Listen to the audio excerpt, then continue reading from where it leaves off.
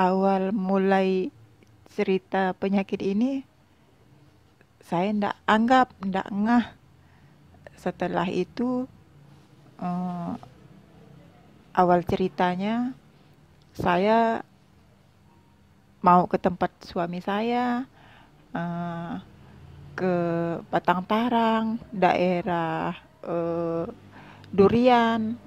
Saya gonceng suami saya pakai motor terus terlalu kencang. Hmm, lalu jatuh sendiri nggak mampu terlalu kenceng bawa motornya.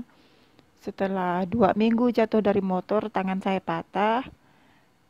Lalu anak saya bilang operasi mak. Ah nggak usah. Besok juga mama juga mati kok. Nggak usah gitu mak anak saya bilang. Mama harus hidup terus gimana pak?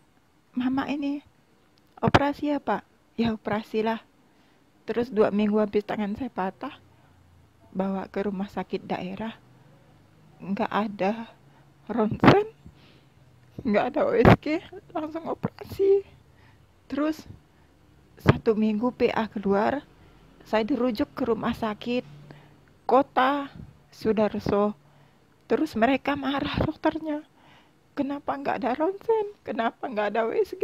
Bisa operasi sih bu, nggak tahu. Ya, ibu harus dirujuk ke Jakarta secepatnya. Tapi saya nggak punya uang dok. Gimana? Yang penting ibu saya kasih rujukan ke rumah sakit Jakarta kemo secepatnya rumah sakit mana yang mau ibu tuju ya udah Darmais aja ya pak dokter ya nggak apa-apa. Ada teman mau dituju yang mengajak ke sana? Ada teman lagi mau kontrol. Saya bilang begitu. Ya berangkat. Terus terus uh, udah pulang ke rumah saya telepon mama kandung saya. Mak mak saya dirujuk ke Jakarta. Gimana mak? Disuruh kemo. Ya udah ke Jakarta aja. Tapi nggak punya uang. Gimana, Mak? Saya berobat alternatif aja ya. Jangan, kata mak saya bilang. Ya udahlah, kalau gitu solusinya gimana, Mak? Kita harus pinjam-pinjam uang dengan keluarga-keluarga kita ya, Mak. Boleh. Lalu mak saya uh, ke adik-adik saya, keluarga-keluarga, dapatlah dengan sepupu mak saya satu juta satu juta dapat dua juta terus gimana lagi? Cuma dapat dua juta. Anak saya ngantar juga ada dapat dua juta jadi empat juta. Terus saya pinjam lagi sama tetangga dapat tiga juta. Pinjam dengan pengajian grup dapat satu juta. Jadi totalnya 8 juta. Saya bilang dengan suami saya pak nanti pinjam uang ya di pabrik. Bayar utangnya. Iya mak yang penting mama sembuh. Dibilang gitu. Berangkatlah saya ke Jakarta.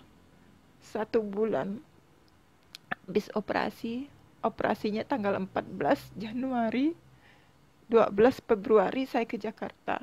Tanggal 13 langsung ketemu dokter bedah. 10 hari kemudian tumbuh lagi sepanjang jahitan. Lalu operasi ulang. Saya cari pendamping seluruh keluarga saya nggak ada yang bisa nemanin. Ternyata di ujung-ujung kesedihan dan kesusahan saya ketemu paman. Sekarang udah kemo, mau kemo yang kedua. Rumah singgah ini sangat membantu saya, meringankan beban saya. Karena kalau ngekos itu sangat mahal. Alhamdulillah ketemu rumah singgah yang begitu murah bayarannya hanya 15.000 satu hari.